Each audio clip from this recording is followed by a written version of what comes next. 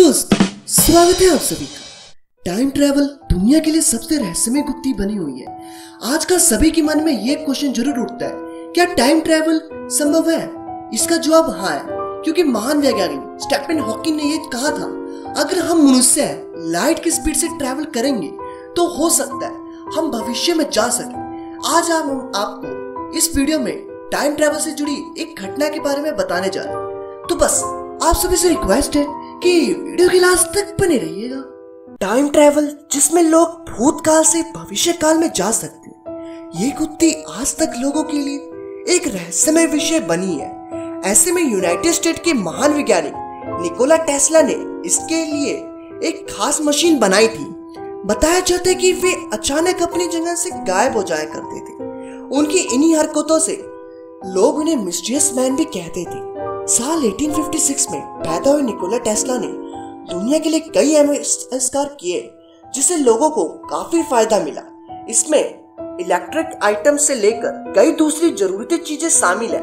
वे एक वैज्ञानिक होने के साथ साथ सफल इलेक्ट्रिकल और फ़िज़िकल इंजीनियर भी थे। निकोला टेस्ला ने दावा किया था कि वे टाइम ट्रेवल में सफल हुए हैं। उन्होंने अपने अनुभव को साझा करने के लिए एक किताब भी लिखी थी। और टेस्ला ने अपने इस हुनर का प्रयोग 4 अक्टूबर 1943 में एक लड़ाकू जहाज़ यूएस के एल्ड्रिच पर किया था। इस प्रयोग को फिलोडिस्पिया के डाक पार्ट पर किया गया था।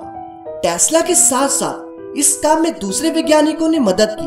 बताया जाता है कि जहाज़ को गायब कर नाजियों को चमका देने की लिए जहाज़ के चारों तरफ़ हज़ार वोल्ट के इलेक्ट्रोमैग्नेटिक कॉइल लगाए गए थे। धीरे धीरे उस जहाज़ पर लगाए हुए जनरेटर की मदद से बिजली की वोल्टेज को बढ़ाई जाने लगी। जैसे बिजली साढ़े तीन मिलियन के पार पहुँची तो एक हरे रंग की रोशनी हुई और जहाज़ पूरी तरह से गायब हो चुका था। उसे वहाँ मौजूद किसी भी रेडार के द्वारा ट्रैक नहीं किया गया। कुछ लोगों का कहना था कि जहाज़ को बाद में वर्जीनिया में देखा गया। जहाज़ में मौजूद ज़्यादातर क्रू मेंबर्स की मौत हो चुकी थी, जबकि जो लोग ठीक थे, उनकी दिमागी हालत खराब हो चुकी। और माना जाता है कि ये सभी समय यात्रा करके लौटे और जहाज़ में सफ़र करने वाले कुछ यात्रियों का दावा था कि जहाज़ साल 1953 में गायब हुआ था। जबकि वे साल 1983 में पहुँच गए थे। तब दुनिया काफ़ी डेवलप हो गई थी।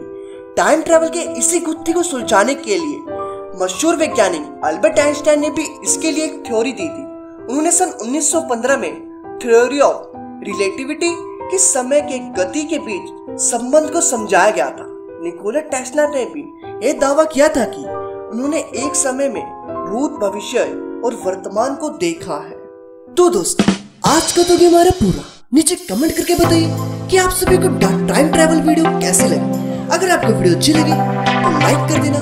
और हाँ हमारे चैनल पर नए हो तो चैनल को सब्सक्राइब करना मत भूलना। और ऐसी वीडियो को देखने के लिए हमारे चैनल के साथ हमेशा बने रहना। और हाँ मिलते हैं नेक्स्ट वीडियो की तरफ़।